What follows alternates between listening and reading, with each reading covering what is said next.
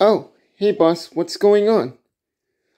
Just shunting some train cars the way the engines who are told to take these whenever we go to Dexter, Missouri on the 30th.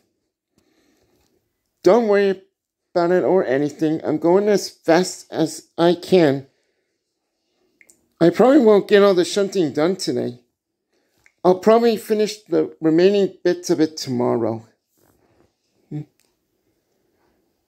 Morning, boss. Just getting the jump on the day.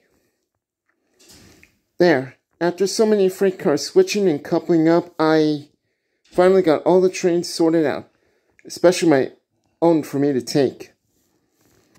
I should probably blow my whistle to let my boss know about this. The train is ready. Next up, Dexter, Missouri. Man, this town is beautiful. I hadn't always dreamed of going to Dexter, Missouri ever since I was built, even back in 1986.